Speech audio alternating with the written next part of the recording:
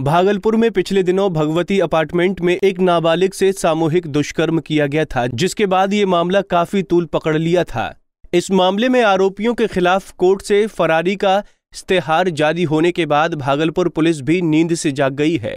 Police भी अब आरोपियों की धरपकड़ के लिए कोई कोर कसर नहीं छोड़ रही है। एसएसपी मनोज कुमार ने कहा कि इसके लिए बाकायदा एक टीम बनाकर अलग अलग इलाकों में अनाउंस करवाया जा रहा है।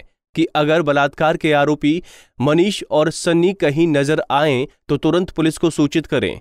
आपको बता दें कि किसी आरोपी को पकड़ने के लिए भागलपुर पुलिस के द्वारा इस तरह का ये पहला प्रयास है। पंजाब केसरी टीवी के लिए भागलपुर से आशीष कुमार की रिपोर्ट। शनि काम बनाएँगे या बिगाड़ेंगे? गुरु, किसका भाग्य संवारेंगे? कैसा रहेगा राहु का गोचा? मंगल से किसे लगेगी ठोकर? मैं बताऊँगा मेष से लेकर मीन राशि का हाल। भविष्यवाणी लाइव में पंजाब केसरी टीवी पर रोज सुबह आठ बजे।